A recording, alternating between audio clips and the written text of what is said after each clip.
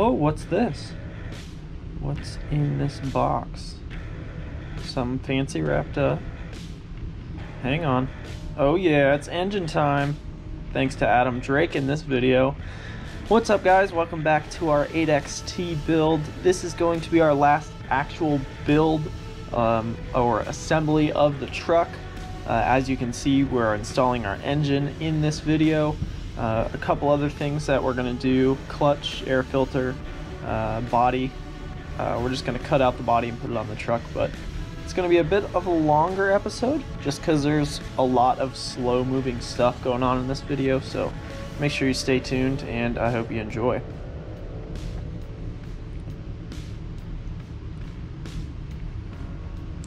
So right off the bat, we're going to be installing our clutch.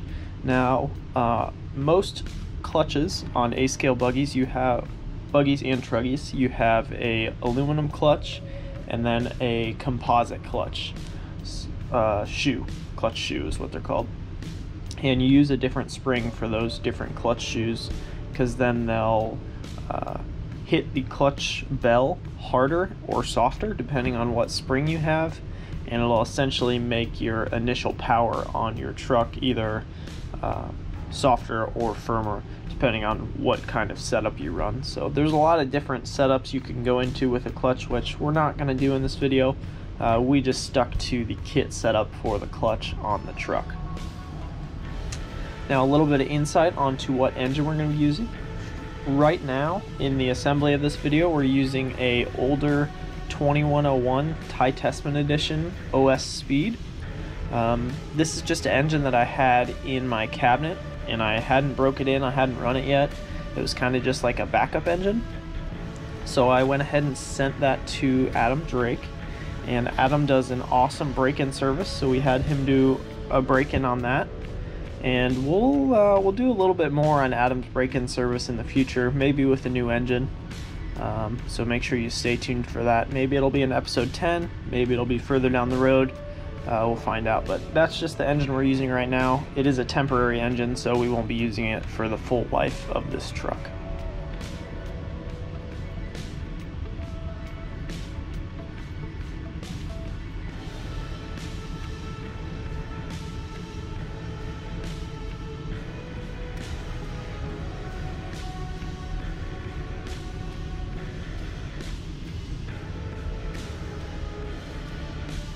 We got our clutch fully wrapped up there. Now we're going to be installing our collet, which is a little brass sleeve that slides over the um, engine or uh, shaft of the engine, and your uh, clutch sits on top of that. Now, some of you are probably going to cringe about what I'm about to do, but this does not harm the engine at all. This is a way of getting your collet tight. Uh, so you can stick a zip, a zip tie through the top of the engine in through the back exhaust exit on the engine. And basically what that'll do is when you go to tighten down this uh, flywheel nut for the clutch, the piston will hit on that zip tie and you'll be able to tighten it. Now you'll tighten it to a point where it snaps the zip tie like that and there's nothing wrong with that. That's not going to harm the engine. Uh, it's just a way of getting that uh, clutch initially tightened before you tighten it the way I'm about to right now. So what I just grabbed was a torque wrench. Uh, in the manual it calls for 15 newton meters for a torque setting on the clutch. So a lot of you I'm sure don't have a torque wrench laying around so just tighten that flywheel nut as tight down as you can. Uh, you're not going to hurt anything getting it tight and I'm sure you're not going to be able to tighten it too much to where you're going to hurt it if that makes sense. So you don't want to super tight it but you want to make it fairly tight so you that clutch doesn't come loose. Uh, make sure to use probably red Loctite is what I used on mine uh, just to keep it nice and tight from it coming loose. Now we are putting our shims in for our clutch bell uh, what the clutch bell does is it usually spins freely on the same shaft that the clutch is on, but then when the motor spins the clutch, those clutch shoes expand and they rub the inside of this clutch bell, and that's what gives you the forward motion on an eighth scale. So if you walk up to a nitro eighth scale vehicle and you spin the wheels and they spin freely, it's spinning that clutch bell because the clutch shoes aren't engaged because the motor's not moving. Uh, if that makes sense for some of you guys. Using a bit of blue Loctite on our end bell nut here, or end bell screw, sorry. Make sure it spins freely and then tighten our flywheel down and make sure it's nice and tight. Now it's not going to spin the freest right now. Once those bearings further break in, it will spin even freer. Uh, so that's just one thing to keep an eye on over time. And then right here we're going to be using a quick release engine mount. So basically what this does is it is easier to take the engine in and out of the car so you don't have to reset the gear mesh every time. Uh, you leave the uh, engine brace or engine mounts mounted in the car and then there's a separate piece that screws into that mount that will screw into the motor. So you can just unscrew those separate pieces uh, the ones we're going to be putting in right now. You can unscrew those pieces and those will stay attached to the motor while the other part stays attached to the chassis. Just makes it a lot easier to get the engine in and out of the car and not having to set the gear mesh like I said.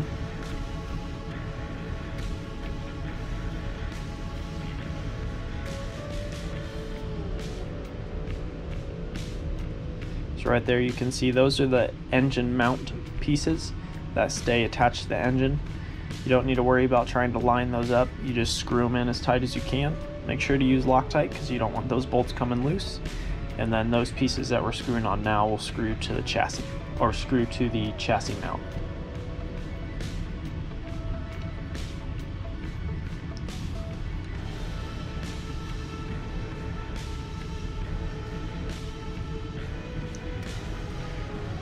Putting our carb restrictor in.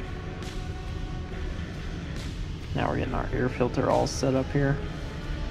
The cool thing about Losi air filters is they sell pre-oiled air filters, which is a great idea. You make make sure you want to have a good amount of oil on your air filter. You don't want it dry, and you also don't want it too dirty. So it's kind of nice. You can just buy those pre-oiled uh, air filters. Comes with a pre-filter and a filter itself, which is basically the big outer ring is called the pre-filter, and the smaller ring on the inside is your filter. Uh, so it comes with two of those, both pre-filtered. I think it's like four in a bag. I definitely recommend picking those up if you're running the Nitro 8XT. Uh, if you're running it electric, you don't need to worry about that. So this is the air filter that comes in the kit. As you can see, it's already pre-oiled. And that's how it'll come if you buy those pre-oiled air filters. It'll come with that uh, blue goo on it, I guess.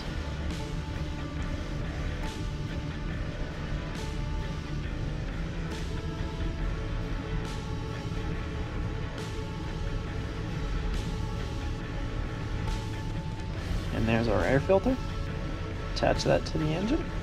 That'll just go right over the carburetor. Get our exhaust pipe all set up here. We're using a, a OS exhaust pipe as well. With I believe a 75 millimeter manifold. Um, I'll probably jump up to an 85 millimeter manifold, um, maybe in the next video here. That'll just give you a bit more torque on the truck instead of top end, uh, which you usually need a little bit more torque on a truck just because it's a bit heavier. Now I like to use needle nose pliers to get these springs attached. I usually just grab the hook on the other side of the spring, stretch around the engine, and hook it into the other side of the exhaust pipe. Makes it a lot easier than trying to do it with your hands. So now we're getting our engine mounts in that attach to the chassis. Uh, getting those chassis screws in there. Now these screws you should never have to remove. So I'm just using blue Loctite, but I guess if you wanted to use red Loctite just to make sure uh, that they don't come out, you can. Personally, I've used this blue Loctite and they've never loosened up on me, knock on wood. Uh, they've always stayed tight, so I think blue Loctite is fine, but if you're having a problem with them coming out, I would use red Loctite. get the rest of them installed here, then I believe we're going to flip it over and put our engine in.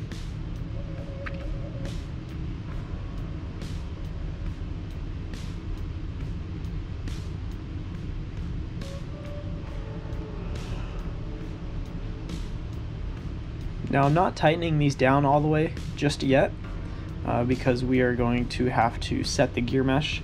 So I'm just getting the screws started in there a little bit loose and then I will go in and tighten them once we get the engine all installed here. Now, what we're putting in right now is our exhaust pipe uh, mount and we're actually going to have to cut the mount that's on there. So we it usually comes a little bit long uh, just so um, it can fit any pipe. So we're to have to see where the pipe lines up here and then we're to mark it with a white paint marker and then go ahead, take it out and cut it off with a uh, fly or a cutting wheel on a Dremel.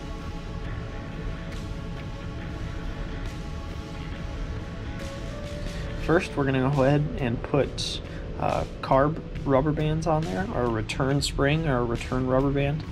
This is a big recommendation if you're running nitro to have a return spring or a return rubber band on your carburetor and I'll show you up close here in a second. Uh, basically, if you lose connection with your radio and your engine is stuck wide open, that's how it'll stay. So you want to make sure that your return rubber band returns on the actual carburetor and it doesn't just stick wide open.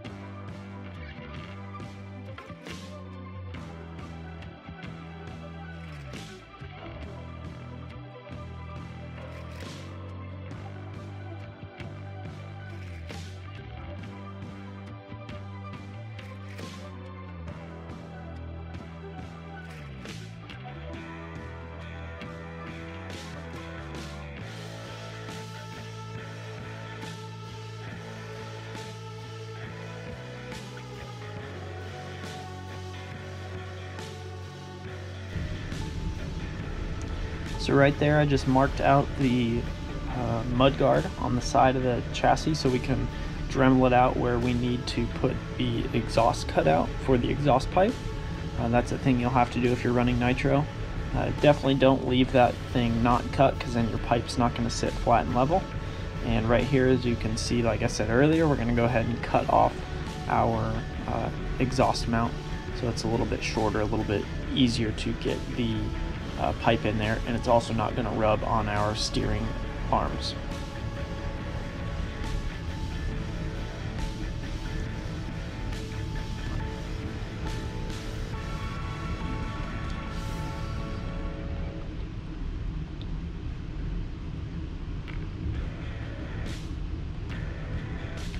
So if you remember when we did our last video, I recommended leaving the exhaust tubing long or the fuel tubing and the pressure line tubing. I re recommended it leaving it long because you just don't know how much exhaust tubing you're going to need. Uh, so as you can see, I've got a lot of excess exhaust tubing, and we'll get in that a little bit. Uh, right now we're going to be installing the motor to the actual uh, motor mount on the chassis or the engine mount. Uh, used just about the same amount of Loctite that you used for the engine mount screws on the bottom of the chassis.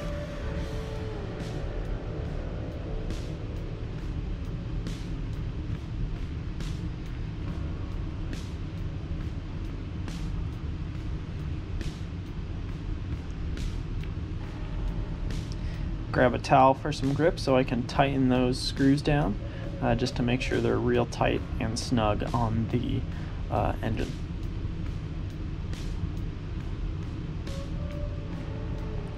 So right here we're going to go ahead and trim our lines. Now I would suggest that you leave a little bit longer of a pressure line uh, because your engine is always changing pressure. Uh, your fuel's bouncing around in there, your fuel level is consistently changing uh, and then your exhaust line you can leave a tiny bit longer, but uh, we cut off a little bit and like I said you leave them longer when you put them on the tank just so you have a little bit extra uh, just in case so they're not too short.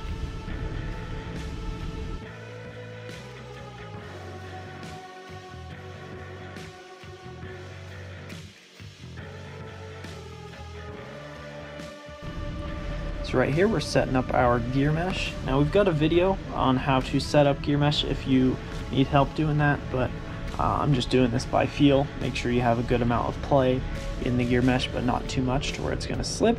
And then go ahead and tighten those bottom screws down on the chassis.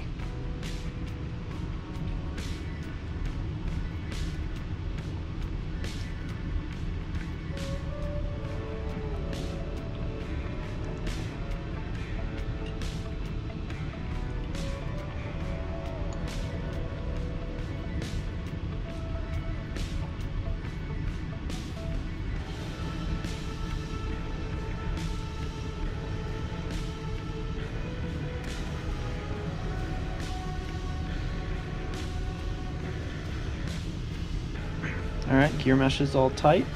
Now we're going to tighten down the screws on the bottom of the chassis, uh, right centered where the uh, gear mesh was good. Jumping over to our body. Now this body does not come pre-cut because this is an electric and a nitro truggy. So what I would recommend is leaving it clear, placing it over the body where it needs to be, and then tracing around where you need to cut out. So first we're going to do the engine here, uh, take a body reamer to like initialize your hole and then you can go ahead and use scissors or uh, we didn't use scissors we just used a Dremel which most people will use but you can use scissors to cut this out. It'll just be taking a little bit longer. So skipping ahead to when we cut out the entire body here. Engine hole we have the exhaust tab hole uh, the exhaust coming out of the side of the body and then our fuel gun hole for the top of the body. So that's going to finish off our basically our build series uh, for this truggy. Thank you guys for sticking along with us. I uh, hope you enjoyed this build series. We are going to do another episode to wrap up on number 10. It'll be a little bit of a special video, kind of maybe going over what my thoughts are of the truck. Uh, I've been running it for a little bit, so I'll give you guys some tips on what I think about it. And then maybe we'll have a little bit of a special guest appearance like I mentioned earlier. So Make sure you stay tuned, keep your eyes open for that next video, and thanks for watching guys.